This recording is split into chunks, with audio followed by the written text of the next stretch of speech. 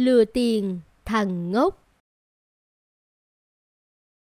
Ngày xưa, ở một làng nọ, có một phú ông tham lam, gian ác. Lão luôn nghĩ ra mọi cách để bòn vét tiền của cải người dân. Người người trong vùng đều oán giận. Chà, mát quá Ngồi đây tỉnh cả người Chào ơi, bao nhiêu là vịt trời Chỗ này có khi phải đến hàng trăm con vịt Mà có khi cũng phải hơn cả hàng trăm con vịt nữa hai bốn sáu tám mười hai mười tám. Cái lũ vịt này không chịu đứng yên cho ta đếm gì cả. Thôi, mặc kệ chúng bay. Đúng là cái đầu vịt trời. Thằng kia, thấy ngựa phú ông sao không tránh? Bẩm phú ông, tôi đang chăn vịt Nên tôi không biết ngựa phú ông đi đến.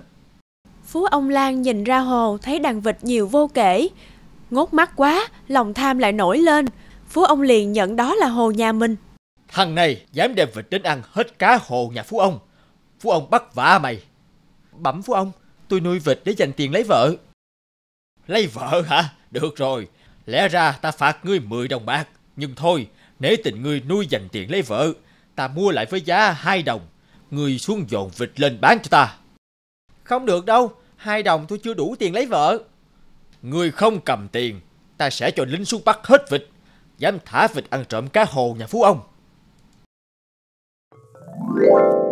Thôi thì tôi bán cho phú ông. Nhưng đàn vịt đang ăn, Phải để đến chiều tối, phú ông hãy cho người dồn về chuồng. Chú đuổi bây giờ, vịt bơi tản đi mất.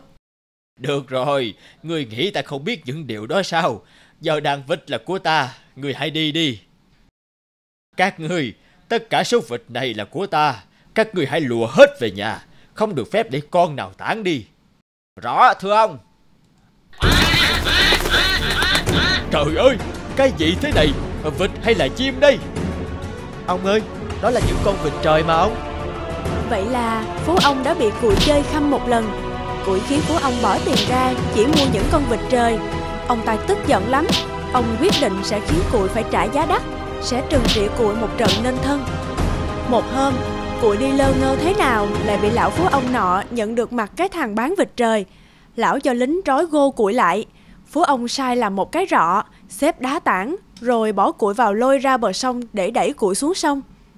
Dây dưa vào lão phú ông tàn bạo này Thì anh ta chết chắc rồi Anh ta cũng to gan được Dám lừa cả phú ông Ôi dào Cứ phải thế Lão ta mới chừa cái tội tham lam của mình Anh nói nhỏ chứ Phú ông mà nghe thấy Thì tai họa đấy Để tôi ra xem anh ấy thế nào rồi Tội nghiệp Này anh Cụi ơi, sao anh lại dại thế?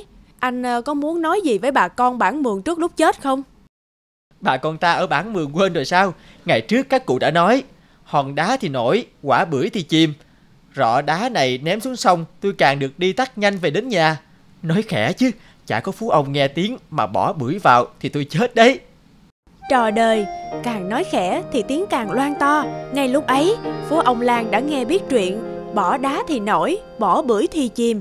Phú ông lấy làm mừng thầm về những điều của nói rất kịp thời để Phú ông thay đổi. Thằng ranh này gớm thật, Sắp chết lại còn định lừa cả phú ông. May mà ta kịp nghe, Không thì đã cho nó đường sống rồi. Lính đâu, Ngay lập tức đang ngay cho ta một cái giỏ lớn hơn, Và bỏ thật nhiều bưởi vào đó, Nhét thằng nhãi ranh vào đó cho ta. Rõ, thưa ông. Trời ơi, có ai không? Cứu tôi với, Nhiều bưởi thế này, tôi chết mất. Quẳng nó xuống sông cho ta. Tội nghiệp quá, Thế là hết đời. Chìm nghiễm luôn kìa Tất cả những ai dám giỡn mặt với ta Đều sẽ có kết cục thế này Chúng bay ơi Nhìn kìa Một cái giỏ toàn bưởi là bưởi kìa Chúng bay ơi Ra kéo ta vào Ta cho ta hồ ăn Lũ trẻ bơi ra kéo rọ bưởi vào bờ. Cụi cho mỗi đứa một quả, còn bao nhiêu? Cụi cổng cả rọ vào một viên lan cun gần đấy. Phú ông tôi ở mường trên Đương thiếu trâu cày Giờ lại vào mùa vụ Phú ông cho tôi đem xuống biếu ông rọ bưởi quý Mượn ông con trâu vài hôm Phú ông là to nhất vùng. Làng đá này chỉ là lan mường, làng bản. Nghe nói được bưởi phú ông biếu đã mừng rồi. Làng đá liền tắm trâu sạch sẽ, đen mượt rồi cho củi sắm trâu về. Củi thảnh thơi cưỡi trâu về qua nhà phú ông. Phú ông trông thấy củi ngồi trên lưng con trâu béo tốt qua cổng, lấy làm ngạc nhiên lắm. Tên kia Người vẫn chưa chết hay sao Ở đâu ra mà ngươi có con trâu béo tốt thế Bẩm phú ông Cái rọ bưởi phú ông ném tôi xuống sông lại chìm ngay trước cổng dinh vua Thủy. Vua Thủy hỏi tôi mang bưởi đi đâu. Tôi không dám nói tôi bị tội trôi sông. Mạn phép phú ông tôi nói là phú ông sai tôi đem bưởi xuống tiếng vua. Rồi sao? Nói nhanh lên. Dưới nước không có bưởi, vua Thủy Tề ăn khen ngon lắm, rồi cho tôi cưỡi con trâu này về biếu phú ông. Lại nói dưới ấy đương xây cung điện, thiếu đá ung vôi, xin phú ông cho đem đá xuống. Dưới ấy cứ một rọ đá thì đổi được một con trâu hoặc một hạt ngọc trai. Thật vậy sao?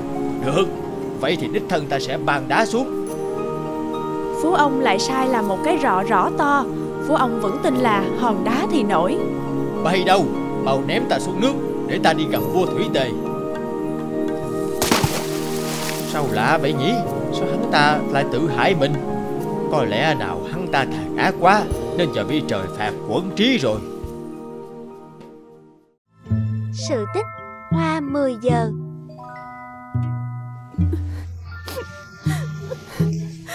Trời đất ơi! Con của ta! Sao số của con lại khốn khổ như thế này?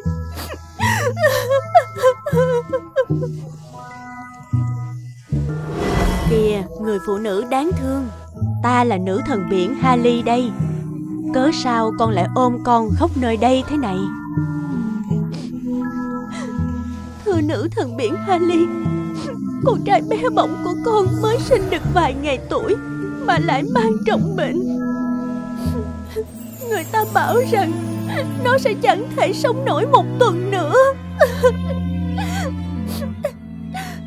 Xin người, Con cầu xin người, Hãy rủ lòng thương tới đứa bé vô tội này. Cách duy nhất để có thể giữ được mạng sống của đứa trẻ này Đó là một cách rất tàn nhẫn với nhà ngươi. Người liệu có chấp nhận không? Thật, thật có cách để cứu con trai bé bỏng của con.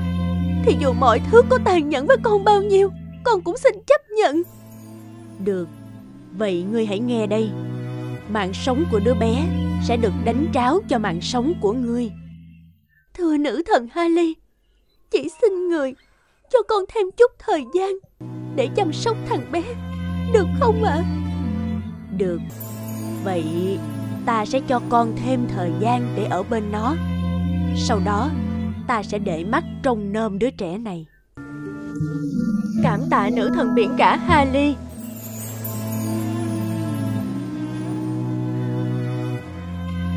À ơi, Con ơi, con ngủ cho ngoan Nín đi Nín đi nào con ơi.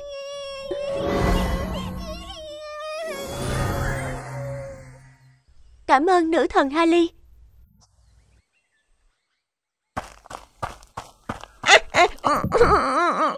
Đau quá. À, hết đau rồi.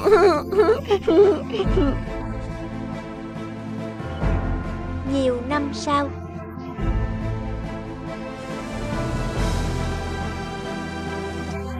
Dưới sự che chở của nữ thần biển cả Hali. Danby càng lớn, càng cường tráng và khôi ngô. Kìa, là Danby kìa. Trông anh ấy thật khỏe khoắn. Công nhận đấy, đám trai tráng trong làng chẳng bằng một góc của anh ấy.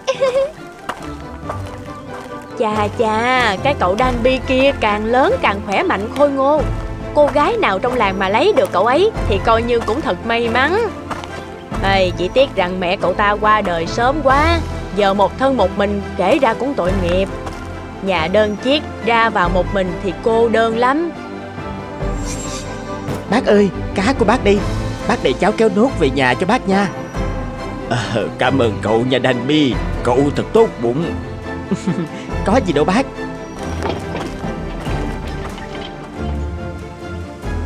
Mẹ Mẹ ở trên thiên đường có cô đơn không Sao con ở đây thấy trống trải thế này chứ?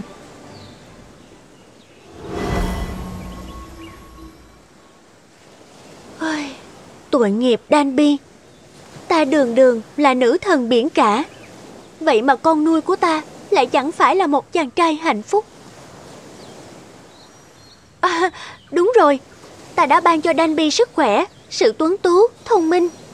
Thế nhưng ta lại chưa ban cho con tình yêu cái mà Danby cần ngay bây giờ chính là một người con gái để yêu đương và chia sẻ mọi buồn vui.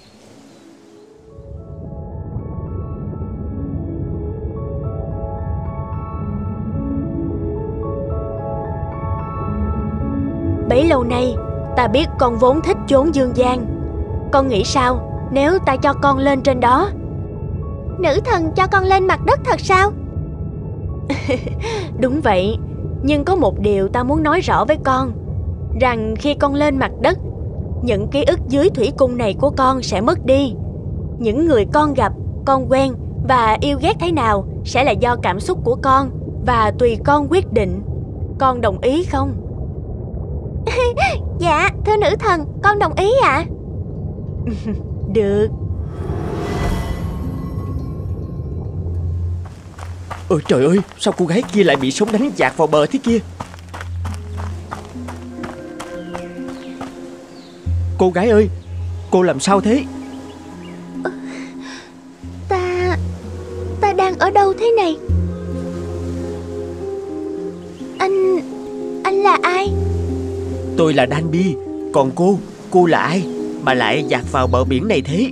Nếu hôm nay mà không có ai ở đây Thì cô sẽ ra sao chàng đã cứu ta sao? Cảm ơn chàng. Thời gian sau. Chà, không khí tuyệt quá. Lúc nào mình cũng thích được đi dạo ở bờ biển thế này. Xin chào Sammy. Cô lại đi dạo đấy à? Tôi biết một chỗ nhìn ra biển xa đẹp lắm. Cô có muốn xem không? Ồ, vậy sao? Chỉ cho tôi đi và đúng như mong muốn của nữ thần biển Hali Cuối cùng Danby và Sami cũng dần nảy sinh tình cảm.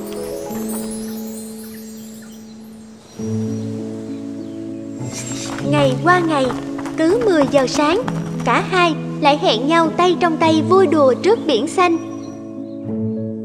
Thế rồi một ngày kia Khi Danby đang trên đường trở về nhà Thì chuyện bất ngờ đã xảy ra. Trời sắp tối rồi phải nhanh chân về thôi Ôi ôi ôi.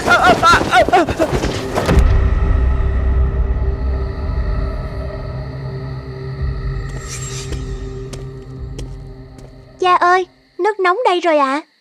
Ừ, để cha lau mặt cho cậu ấy Khổ thân, anh ấy bị ngã đến bất tỉnh Lại còn bị gãy chân nữa Tối nay không về thế này Chắc người nhà anh ấy lo lắng lắm Thôi, Ít ra chúng ta cũng phát hiện ra cậu ấy là cậu ấy cũng may mắn rồi.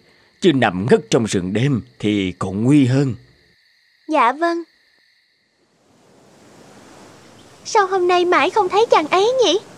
Sáng nào cũng vậy, đúng 10 giờ sáng, chàng ấy và mình hẹn sẽ đến đây cơ mà. Có chuyện gì rồi chăng? Có bao giờ chàng ấy quên hẹn với mình đâu chứ?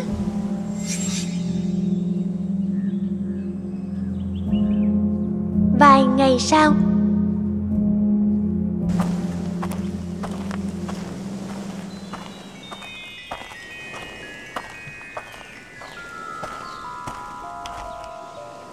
Sami, con gái của ta. Sao lại chỉ có mình con trơ trội thế này? Có chuyện gì đã xảy ra mà mình không biết sao? Danby Con đang ở đâu vậy? Danby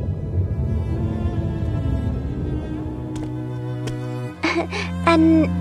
anh ăn một chút đi. Cảm ơn cô đã cứu mạng. À, Không có gì. Nhiều ngày sau. Danby Chàng đang ở đâu vậy? Có chuyện gì đã xảy ra với chàng vậy? Danby ơi! Danby Nói điều này ra với con thật là khó khăn. Nhưng từ lúc gặp con, Ta đã hy vọng rằng thân già này Nếu có một ngày rời xa thế giới, Thì con có thể chăm lo cho Gina của ta. Gina và cha cô ấy đã cứu mạng ta. Thế nhưng còn Sammy nữa, Phải làm thế nào bây giờ? Từ lúc gặp nạn trong rừng, Ta còn chưa gặp Sammy. Thời gian qua có lẽ Chắc Sammy cũng đã tưởng ta không còn nữa rồi. Cha Cha đừng làm khó cho Danby. Chàng ấy còn có cuộc sống của mình. Ừ con cảm ơn bác. Cảm ơn Gina đã cứu mạng con. Nếu không có hai người Thì con cũng không có ngày hôm nay. Con xin hứa với bác Sẽ chăm lo cho Gina. Trong khi đó, Sammy vẫn ngày đêm đi tìm kiếm Danby. Cho đến một ngày kia, nàng đã tìm thấy nơi Danby đang ở.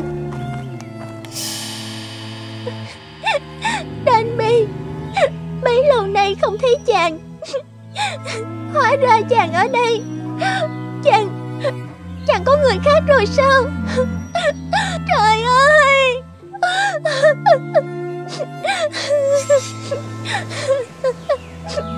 Trời ơi Biết thế ta không đi tìm chàng ấy để làm gì Để phải nhìn thấy cảnh trái ngang như vậy Chàng ấy đã quên ta thật rồi đã quên đi những cái hẹn 10 giờ cùng ta rồi.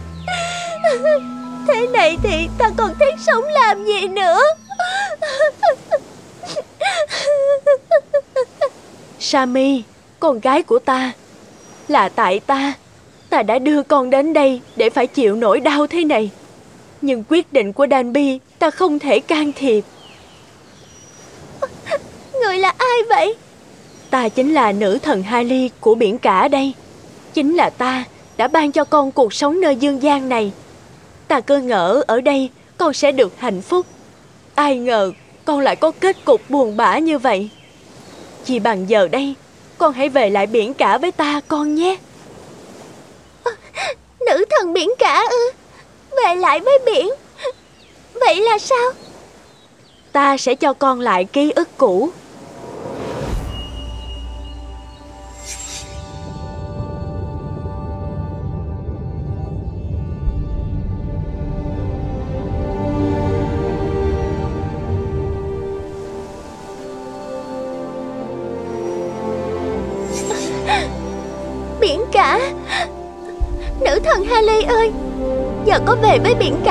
Thì con cũng không còn là Sammy của ngày xưa nữa rồi.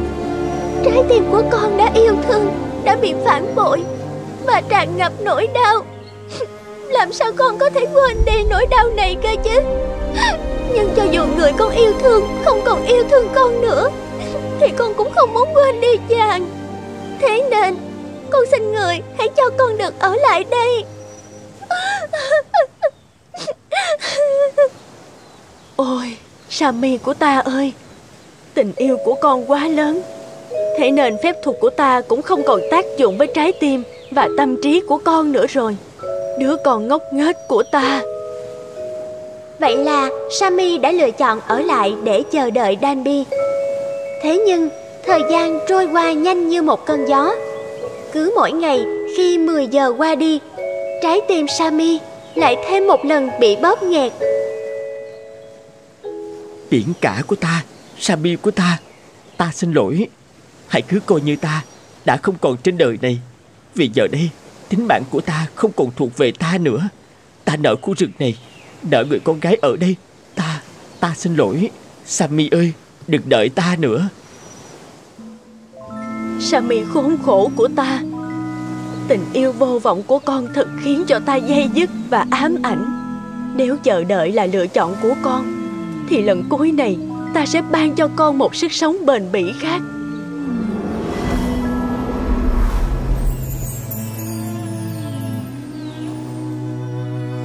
Loài hoa mà Sami biến thành, Từ đó, cứ khi 10 giờ là lại nở rộ Từng cánh hoa như hứng lấy những hạt nắng của mặt trời để sưởi ấm cho những giọt nước mắt chất chứa trong lòng của người con gái đầy đau khổ và tuyệt vọng.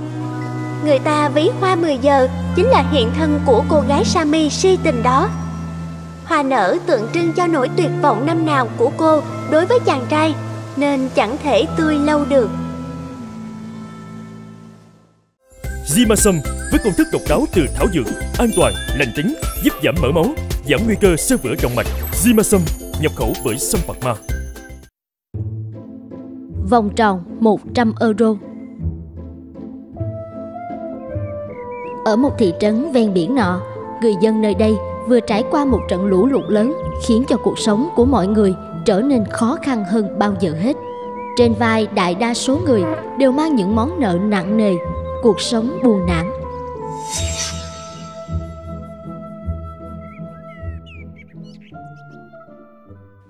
Hey, lũ với chả lục, khách hàng không ghé thăm làm vùng này trở nên điều hiu thế không biết.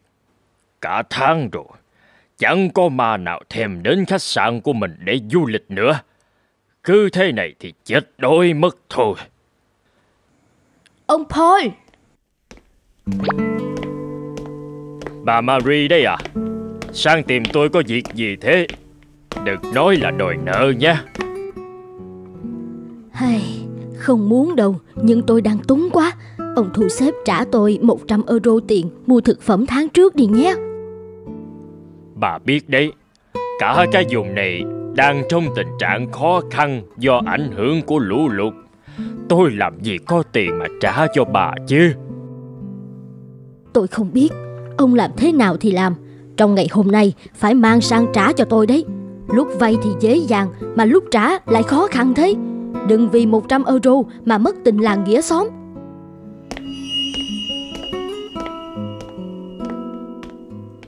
Hay, biết lấy tiền đâu trả bà ấy bây giờ. Có ai không? Cho hỏi, khách sạn còn phòng cho thuê không? Dạ, dạ, còn rất nhiều phòng mà. Mời ngài vào trong ạ. Tôi đặt cọc trước 100 euro tiền thuê phòng. Giờ tôi cần lên xem phòng trước. Dạ, mời ngài cứ lên xem tự nhiên ạ. Tôi sẽ bảo nhân viên đưa ngài đi. May quá, thế là có tiền trả bà Mary rồi.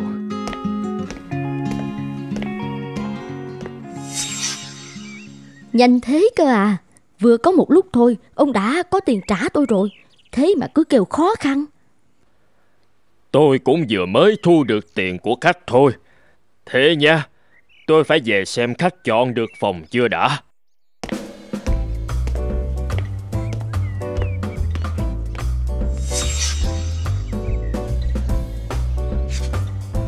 May quá, đúng lúc hết tiền thì bà mang sang trả cho tôi. Đồng tiền cuối cùng của tôi đấy. Tôi cũng vừa mới được người ta trả thôi. Thì tôi cũng có giữ được tờ tiền này lâu đâu. Lát phải sang trả cho tài Joker, chủ trang trại chăn nuôi lợn kìa. Đây, tôi trả anh nốt 100 euro tiền nợ lần trước nhé. Cảm ơn anh. Thế hết nợ nhỉ? Thế mà hôm qua vừa mới xin khất nợ với tôi. Hôm nay đã có tiền trả rồi. em yêu à, anh vừa được người ta trả nợ. Vậy là có tiền rồi. Chúng ta đến khách sạn mặt trời hưởng thụ nhé. Ông chủ. Ồ, quý khách của tôi Lâu lắm mới thấy tới thế này. Lâu lâu mới có tiền mà. Đây là 100 euro. Ông hãy chuẩn bị cho tôi một bữa tối thật lãng mạn nhé. Vẫn như mỗi lần phải không? Mời hai người lên phòng. Bữa tối sẽ được chuẩn bị ngay đây. Sang nhận 100 euro đi trả nợ. Cuối ngày vẫn cầm lại được 100 euro. Quả là một ngày may mắn. Ông chủ. Tôi đã xem hết tất cả các phòng ở đây, Nhưng Rất tiếc là không chọn được phòng nào ưng ý. Phiền ông cho tôi xin lại 100 euro đã đặt cọc. Ôi, Thật đáng tiếc vì không có cơ hội phục vụ ngài. Hy vọng là sẽ được tiếp đón ngài vào một dịp khác.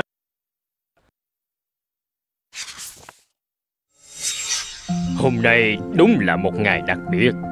Không hiểu sao Không nhận được khách Mà trong lòng mình vẫn cảm thấy vui nhỉ? Chắc có lẽ Chị đã giải quyết được món nợ với bà Marie rồi chăng? Bỗng nhiên mình cảm thấy tràn đầy niềm tin và động lực thế nhỉ? Làm việc thôi, Khách vẫn đang đợi mình trên lầu mà. Chỉ với 100 euro nhỏ nhoi mà mọi người trong thị trấn đều tháo gỡ được gánh nặng nợ nần. Họ lại có niềm tin và động lực để tiếp tục cuộc sống phía trước. Đúng là có những chuyện tưởng chừng rất căng thẳng khiến cho người ta kiệt quệ. Hóa ra lại được giải quyết thật đơn giản. Cuộc sống không nên quá khổ cầu, cứ bình thản mà bước tiếp. Niềm vui hoặc nỗi buồn sẽ lan tỏa như hiệu ứng domino. Nên chọn lan tỏa điều gì là do chính bản thân mỗi người Chim yển và ngọn lửa Ngày xưa ngày xưa, ở một khu rừng nọ, có một khu vườn tên là Lạc Thú, bởi vì ở đó có rất nhiều các loài chim thú và chúng đối xử với nhau rất thân thiện. Ngày ngày chúng thường tụ họp với nhau tại một bãi đất trống giữa khu rừng để cùng liên hoan, nhảy múa, ca hát. Xin chào mọi người, xin lỗi vì đã chen ngang vào cuộc vui của mọi người. Nhưng tôi muốn nhờ mọi người một việc, không biết là có được không? Hình như cậu ta từ nơi khác đến. Chắc vậy, tôi chưa từng nhìn thấy cậu ta ở khu vườn này. Có việc gì thế? Cháu cứ nói đi. Nếu giúp được, mọi người rất sẵn lòng. Dạ, cháu từ nơi khác đến đây, không may dọc đường bị lạc, nên không thể quay về trước khi trời tối. Bác và mọi người có thể cho cháu nghỉ chân ở khu vườn này đêm nay được không ạ? À? Chuyện đó thì quá đơn giản. Chúng ta rất hiếu khách. Cháu có thể ở lại đây bao lâu cũng được. Phải không mọi người? Đúng vậy. Chào mừng cậu đến với khu vườn lạc thú của chúng tôi. Hôm nay có khách quý, chúng ta đi chuẩn bị tiệc thôi nào. Phải đấy, chuẩn bị tiệc thôi. Cảm ơn mọi người đã tiếp đãi tôi rất nhiệt tình. Để góp vui cho buổi tiệc ngày hôm nay, tôi xin trình diễn một tiết mục. Đó là giả tiếng các loài chim thú. Mong mọi người đừng chê cười ạ. À. Hay quá, hay quá, trình diễn đi nào. Để xem xem có giống không nào. Đây là tiếng gà gáy. Hay quá, hay quá. Giống lắm. Tiếp tục đi nào. Đây là tiếng lợn kêu. Hay lắm, giống lắm. Tiếp tục đi nào. Sau đây nữa là tiếng Cháy, cháy rồi mọi người ơi. Bác gấu ơi, cháy rồi. Khu vườn của chúng ta đang cháy rồi. Cháy ư, sao lại cháy được? Vừa nãy vẫn còn bình thường mà. Chết rồi, khói bay ra tận đây rồi. Cháy to quá, mau chạy thôi. Cháy to rồi, chạy đi.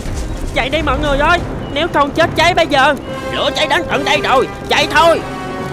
Trời ơi, Sao tự nhiên khu vườn lại bốc cháy thế này? Đây là nơi ở của mọi người mà. Mình từ nơi xa lạ tới đây Ai cũng đối xử với mình rất tốt. Không được Mình phải cứu khu vườn.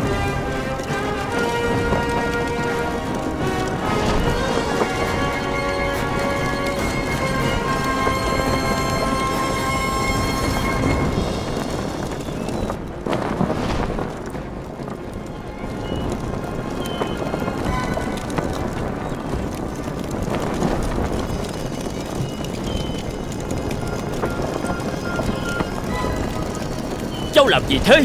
Còn không mau chạy đi. Lửa to như thế, Với sức của cháu thì làm sao mà dập được? Không cẩn thận, Cháu sẽ bị chết cháy đó. Mau chạy đi. Nhưng đây là khu vườn mà mọi người vô cùng yêu quý, Là nơi sinh sống của mọi người. Cháu không nỡ nhìn nó bị quỷ hoại như thế. Mọi người hãy giúp cháu dập lửa đi. Không được đâu, Lửa đã cháy to lắm rồi. Chúng ta không thể làm gì để cứu vãn đâu, Vô ích thôi. Cháu mau quay lại đi nếu không, cả cháu cũng sẽ phải bỏ mạng đấy. Cháu không quay lại đâu. Cháu sẽ quyết tâm dập lửa đến cùng Để cứu lấy khu vườn này. Mọi người hãy chờ cháu.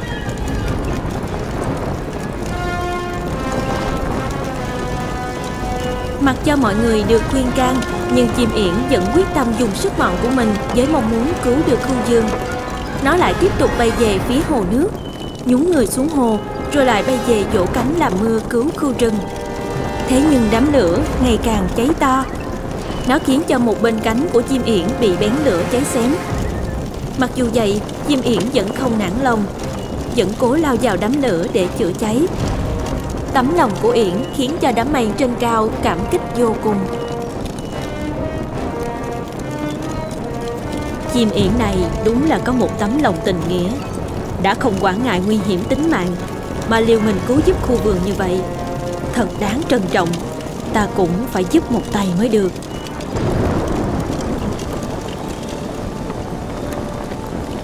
Ồ, nhìn kìa. Cơn mưa đã khiến ngọn lửa bị dập tắt rồi. Tuyệt quá. Khu vườn lại trở nên xanh tốt như trước kia rồi. Tất cả nhờ ơn của chim yển. Không phải tôi đâu. Chắc là đám men trên trời thương tình. Nên mới cho mưa xuống giúp chúng ta giữ lại khu vườn đấy. Cũng là nhờ cháu có lòng như thế Nên mới cảm động đến trời cao Cháu hãy ở lại đây với chúng ta mãi mãi nhé Cháu... Cháu cảm ơn mọi người Cảm ơn mọi người rất nhiều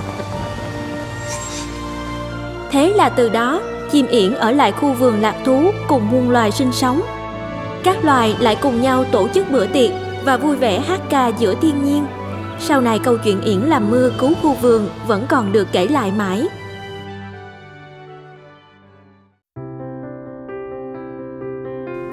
Nhảy đi vào lịch sử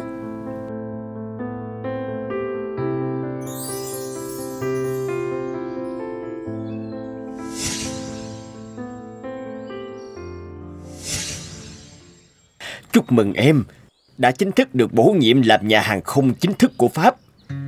Cảm ơn thầy đã giúp đỡ em trong thời gian qua. Chính nhờ thầy mà em nhận ra đam mê của mình và có được thành quả ngày hôm nay. Với em, được bay trên bầu trời và ngắm nhìn cảnh vật xung quanh là điều tuyệt vời không gì sánh nổi. Thầy cảm thấy mình là người may mắn khi được dìu dắt các em đến với môn thể thao này. Tuy bay khinh khí cầu là môn thể thao mạo hiểm, ít người dám thử sức nhưng một khi đã vượt qua được những khó khăn vất vả ban đầu Thì những trải nghiệm mà nó mang lại vô cùng tuyệt vời Đúng vậy thưa thầy Em vẫn không thể nào quên lần đầu tiên bay khinh khí cầu của mình Niềm tự hào được chinh phục bầu trời Đã xua tan sự lo lắng, sợ hãi trước đó của em. Đó là những trải nghiệm không thể nào quên đối với em thầy à. Cuộc thi khinh khí cầu sắp tới Sẽ được tổ chức vào mùa thu. Trong số các học trò Thầy hy vọng nhất là vào em đấy Ganojin. Em là người xuất sắc nhất trong khóa Và thầy tin rằng Em sẽ giành được giải cao trong cuộc thi này. Thầy yên tâm Em nhất định sẽ không phụ lòng thầy đâu.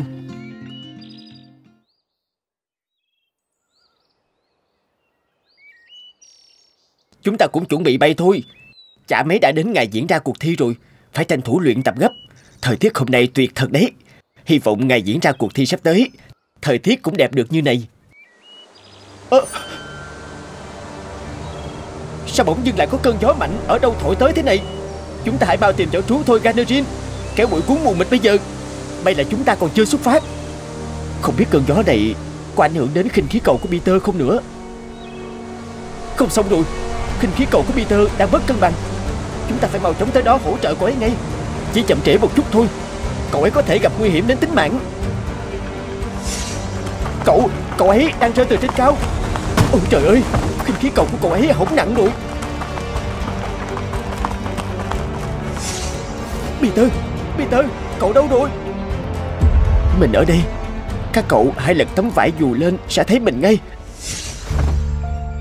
Mình đau quá. Hãy cứu mình với. Cảm giác sinh tử đó thật kinh khủng. Mình đã nghĩ rằng Sẽ chẳng thể nào gặp lại các cậu được nữa. Thật không thể tin nổi. Vừa mới lúc trước còn cười nói với các cậu. Vậy mà giờ Mình đã thành ra thê thảm thế này rồi. Peter à Cậu bị thương ở đâu? Bọn mình đã lo lắng cho cậu biết bao. Khi cơn cuồng phong ập tới, Thật may là cậu vẫn còn sống. Lúc nhìn khinh khí cầu của cậu rơi xuống, Tim mình như ngừng đập trong phút chốc. Chân mình đau lắm. Không thể cử động được. Ban nãy khi mình vừa bay lên trên được một lúc, Bỗng cơn gió mạnh thổi tới, Khiến khinh khí cầu trao đảo. Mình đã cố gắng điều khiển, Nhưng không thể nào chống lại được sức gió khủng khiếp ấy. Nó cuốn khinh khí cầu của mình bay đi, Rồi rơi xuống đất với lực rất mạnh. Mình đã choáng váng một lúc lâu, Cho tới khi nghe tiếng các cậu gọi, Mình mới hồi tỉnh phần nào. Bây giờ cậu hãy cố gắng chịu đựng. Bọn mình sẽ đưa cậu đến bệnh viện ngay bây giờ. Mọi chuyện rồi sẽ ổn cả thôi. Mạnh mẽ lên nha, chàng trai.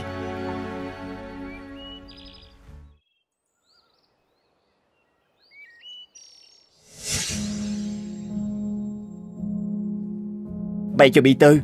Cú ngã mạnh như thế Mà đầu không bị ảnh hưởng nghiêm trọng gì. Lúc đưa cậu ấy đến đây, Mình cứ lo bị chấn thương não bộ thì nguy to. Chưa kể cậu ấy còn vợ và hai con nhỏ. Nếu Peter có làm sao? Mình thật sự không biết phải nói thế nào Với gia đình cậu ấy.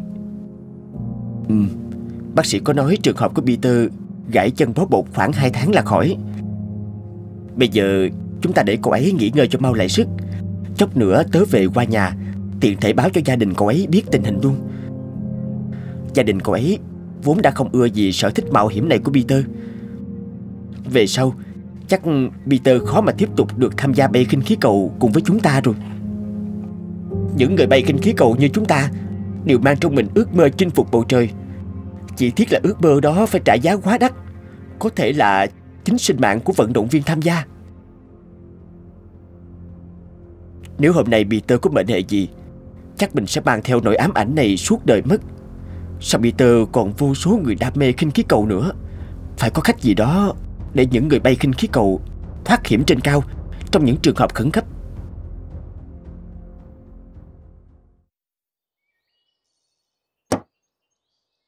Trên bầu trời mênh mông rộng lớn kia, Việc hỗ trợ người bay khinh khí cầu gặp nạn từ bên ngoài Là điều không khả thi Chỉ có cách duy nhất Là tự cứu chính mình Bằng một công cụ hỗ trợ tiếp đất Trong trường hợp khẩn cấp Yeah dạo này thường xuyên xuất hiện những cơn giông lốc bất ngờ. Chúng làm mình lại nhớ tới tai nạn của Peter hôm trước. Cơn gió lốc mạnh quá, cuốn bay mọi thứ tứ tung hết cả. Mình phải đóng cửa lại, không thì chút nữa lại phải đi dọn phòng thì mệt lắm. Ôi trời ơi, hãy nhìn chiếc ô kìa, trong gió lốc dữ dội là vậy, mà cách nó bay theo gió mới nhẹ nhàng làm sao. Chiếc ô hạ xuống đất rất nhẹ nhàng bởi tấm vải dù đã hạn chế phần nào tốc độ rơi của nó. Tương tự, nếu thiết kế một chiếc dù nhảy từ khinh khí cầu, thì ta có thể kiểm soát được tốc độ khi rơi xuống, làm giảm sức ép của gió và tránh nguy cơ chấn thương. Bản thân chiếc ô nếu gặp gió lớn, khung có thể bị lật ngược ra sao? Vậy nếu mình thiết kế một chiếc dù vải không có khung thì hoàn toàn có thể cản được gió rồi, giúp cho quá trình hạ xuống được chậm lại. Liệu có khả thi hay không đây?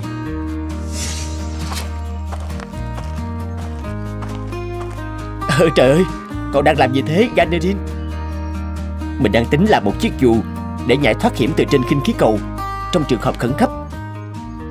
Cái gì? Cậu có bị điên không hả Ganerin Cầm một mảnh vải và nhảy từ trên trời xuống, Khác nào tự sát cơ chứ? Mình không hề làm bừa bãi, Mà dựa trên tính toán cẩn thận hẳn hoi, Chiếc dù sẽ là vật giúp ta kiểm soát được tốc độ rơi Trong khi hạ xuống, Chứ không phải rơi tự do như cậu nghĩ đâu dù gì đi chăng nữa, Việc này cũng vô cùng mạo hiểm. Nếu sơ suất có thể bỏ mạng bất cứ lúc nào, Cậu đừng lấy bạn sống mà đánh cược như thế. Nếu chỉ có một phần trăm thành công, Thì mình vẫn muốn thử. Mình không muốn phải chứng kiến những trường hợp đau lòng, Phải bỏ mạng trên bầu trời. Cậu cũng đã chứng kiến tai nạn của Peter hôm trước đấy. Chúng ta không thể phụ thuộc hoàn toàn vào điều kiện tự nhiên được. Như vậy, vô cùng rủi ro. Dẫu có phải hy sinh tính mạng, Mình cũng sẽ là người đứng ra thử nghiệm chiếc dù thoát hiểm này. Nghe bảo hôm nay Ganerin sẽ chơi tự do chỉ với một chiếc dù đấy. Có khi nào cậu ấy hóa điên rồi không? Chúng ta có nên khuyên cậu ấy hãy bỏ cuộc Với cái ý tưởng ngu ngốc đấy không? Tôi sợ rằng cậu ấy sẽ chẳng thể nào toàn mạng Sau khi rơi xuống đâu. Ganerin Ồ, các cậu đến rồi đấy hả? Chà, cả Peter cũng ra cổ vũ cho mình nữa này. Trông cậu có vẻ khỏe lên nhiều rồi đấy Peter. Hôm trước cậu làm mình và David. Sợ xanh mắt mèo đấy. Lúc đưa cậu đến bệnh viện, Mà tay mình vẫn còn run, May là cậu không bị chấn thương quá nghiêm trọng. Ganerin Cậu nhất định phải làm điều này sao? Mình thật sự lo lắng cho cậu. Nếu cậu làm vì mình thì xin cậu, Hãy từ bỏ trước khi quá trễ đi. Mình đã từng trải qua cảm giác rơi xuống cùng kinh khí cầu. Thật sự nó vô cùng kinh khủng. Nhiều khi hàng đêm, Mình giật mình tỉnh giấc, Khi nhớ lại khoảnh khắc đáng sợ đó và mình không muốn người bạn thân của mình Phải trải qua những giờ phút kinh hoàng như vậy đâu. Bất cứ một phát minh hay sáng chế nào muốn ra đời Đều cần phải thử nghiệm. Chiếc dù nhảy này, Mình đã dồn hết tâm huyết và công sức vào nó rồi. Nếu lần thử nghiệm này thành công, Chiếc dù nhảy sẽ là công cụ hỗ trợ đắc lực Dành cho chúng ta khi bay trên bầu trời. Nếu cậu đã quyết tâm như vậy, Thì mình có nói gì cũng vô ích thôi. Hãy hứa với mình là cậu sẽ trở về an toàn nha. Tuy trong lòng có chút hoài nghi, Nhưng mình sẽ luôn cầu nguyện cho cậu thành công. Trong lần nhảy dù này, Mình sẽ ở dưới này Và chờ đón cú nhảy lịch sử của cậu. Được rồi, Mình hứa với cậu. Sau bao nhiêu nỗ lực không mệt mỏi, Mình tin rằng sáng chế mới của mình Sẽ mở ra một tương lai mới cho bộ môn khinh khí cầu. Khi nào độ cao đạt tới 1.000 mét, Mình sẽ cắt sợi dây nối với khinh khí cầu. Để thử nghiệm chiếc dù rơi tự do ra sao?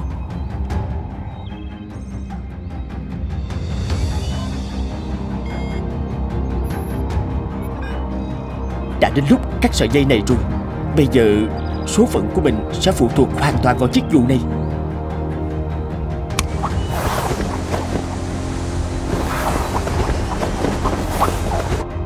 Ôi trời ơi, Tôi không dám nhìn nữa. Thật kinh khủng. Đó là hướng thị trấn. Chúng ta hãy mau tới đó đi.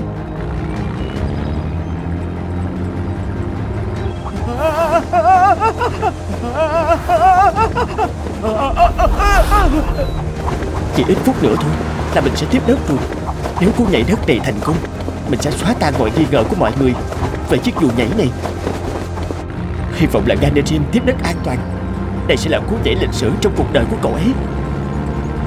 Ganderin Ganderin Ganarin Cậu không sao chứ? Mình không sao, Chỉ là khi tiếp đất, Chiếc giỏ va vào mặt đất Rồi bật lên, Nên mình có hơi choáng nhẹ một chút. Mình đã dự đoán đúng, Chiếc dù giúp hạn chế tốc độ rơi xuống Và giảm được rủi ro khi tiếp đất. Cậu biết không, Cảm giác chơi tự do Nhưng có vật hỗ trợ Sẽ giúp cậu yên tâm Và tận hưởng phần nào đấy. Tin mình đi. Tuyệt vời! Được tận mắt chứng kiến thì mình tin rồi. Chiếc dù nhảy này sẽ là cứu cánh cho những người bay khinh khí cầu Khi gặp tình huống khẩn cấp trên bầu trời. Cậu giỏi quá Ganerin ơi. Mình vô cùng tự hào Khi có được một người bạn tài năng như cậu. Cậu đã xóa tan những nghi ngờ của mọi người trước đó Và chiếc dù nhảy kỳ diệu này. Từ nay về sau, Chiếc dù nhảy này sẽ luôn song hành cùng cậu trên khinh khí cầu. Sẽ không còn điều gì có thể cản bước đam mê chinh phục bầu trời của chúng ta nữa. Cậu đã làm được một việc ngoài sức tưởng tượng của mình. Cú nhảy của cậu đã tạo nên lịch sử rồi. Ganerin à. Andre Jacques Ganarin, sinh năm 1769, mất năm 1823, là một vận động viên khinh khí cầu người Pháp và là người phát minh ra chiếc dù không khung. Nhờ cú nhảy lịch sử của Ganarin mà sau này chiếc dù nhảy được cải tiến và được quân đội sử dụng để cứu mạng phi công trong các trường hợp khẩn cấp trên khí cầu và máy bay đang bay.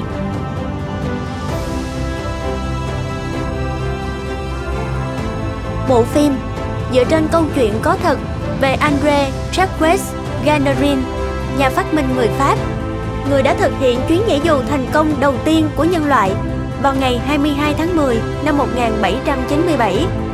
Và dù dùng để nhảy dù đã ra đời từ ngày đó. Zimasum với công thức độc đáo từ thảo dược, an toàn, lành tính, giúp giảm mỡ máu, giảm nguy cơ sơ vữa động mạch. Zimasum nhập khẩu bởi Sâm Phạt Ma. Hãy like, comment, subscribe kênh để xem thêm những video mới nhất nhé!